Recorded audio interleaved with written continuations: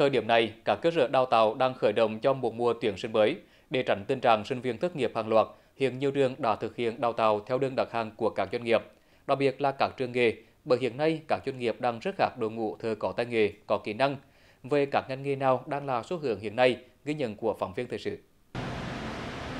Trường Cao đẳng Công nghiệp Huế mỗi năm đào tạo hàng nghìn sinh viên ở rất nhiều chuyên ngành. Đón đầu xu hướng, nên trường đã liên kết tính đến thời điểm này là khoảng hơn 500 doanh nghiệp để đảm bảo đầu ra cho sinh viên. Một năm có hàng nghìn chỉ tiêu, nhưng trường đều cam kết 100% sinh viên đều sẽ có việc làm ngay sau khi ra trường. Ở chiều ngược lại, rất nhiều doanh nghiệp cũng đã có sự đặt hàng đào tạo để tạo nguồn nhân lực cho họ, đảm bảo khi về làm việc sẽ không mất thời gian và kinh phí đào tạo lại. À, chúng tôi hợp tác doanh nghiệp trên tinh thần là win-win, tức là cả hai bên đều có cái sự đóng góp và hưởng lợi. À, doanh nghiệp á, thì à, à, cung cấp cho chúng tôi những cái môi trường tốt trong đào tạo. À, chúng tôi cũng có những hình thức để đưa sinh viên à, đến à, doanh nghiệp để thực tập và thông qua cái môi trường thực tập này sau khi ra trường thì doanh nghiệp à, sử dụng à, lao động từ cái nguồn đào tạo tại trường. Dạ, em cảm thấy tự tin trong quá trình um, các thầy cô giảng dạy rất nhiệt tình. À, và em cũng cần phải học um, thêm nhiều nhiều điều để có thể bản thân được phát triển về năng lực của mình hơn. Năng lực à, có thể phát triển à, và vươn vươn xa hơn trong học tập. Hiện nay, số lượng lao động đã qua đào tạo của Thừa Thiên Huế nói riêng và của toàn Việt Nam nói chung đang quá ít so với nhu cầu.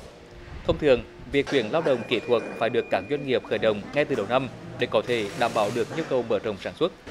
Vì vậy, các doanh nghiệp cũng đang rất chú trọng đến việc liên kết đào tạo như thế này để có thể có nguồn lao động có chất lượng thường xuyên. Thì à, Đại Kinh Việt Nam à, trong những năm qua đã hỗ trợ trường về cái phần lý thuyết cũng đưa chương trình giảng dạy theo tiêu chuẩn của Đại Kinh vào trong trường học à, cũng tăng những cái thiết bị những cái dụng cụ đầu nghề để cho các em thực hành thực tế tại công trường à, thì Đài Kinh sau khi à, à, với phương châm của Đài Kinh lấy là có người làm trọng tâm thì Đài Kinh sau khi đã đào tạo xong thì cũng à, sẽ tuyển những doanh nghiệp à, những sinh viên này vào trong à, à, à, làm dịch vụ của Đài Kinh cũng giống như à, giới thiệu cho các em vào trong những cái doanh nghiệp và những cái đại lý bán hàng của Đài Kinh. À, công ty dệt may Huế đã à, liên kết với trường cao đẳng công nghiệp Huế à, cử à, 7 cán bộ đến tham dự lớp à, cao đẳng xử lý nước thải và qua quá trình học tập cũng như là theo dõi của chúng tôi về các bạn học viên thì chương trình đào tạo thì của nhà trường thì rất là sát sao và đáp ứng được cái yêu cầu về công nghệ xử lý nước thải của doanh nghiệp hiện nay. Theo Bộ Lao động Thương binh và Xã hội, dự báo trong quý 1 và quý 2 năm 2023, nhu cầu tuyển dụng sẽ gia tăng từ 350.000 đến 400.000 lao động. Trong đó các ngành như điện tử, tự động hóa, công nghệ ô tô, các nhóm ngành về kỹ thuật, công nghệ thông tin sẽ cần số lượng lớn lao động trong thời gian tới. Việc chuẩn bị sẵn sàng lực lượng lao động cũng như quan tâm đến nhu cầu doanh nghiệp để có hướng đào tạo hợp lý sẽ là hướng đi cần thiết để sinh viên có được việc làm theo chuyên ngành, còn doanh nghiệp có được lực lượng lao động tay nghề cao.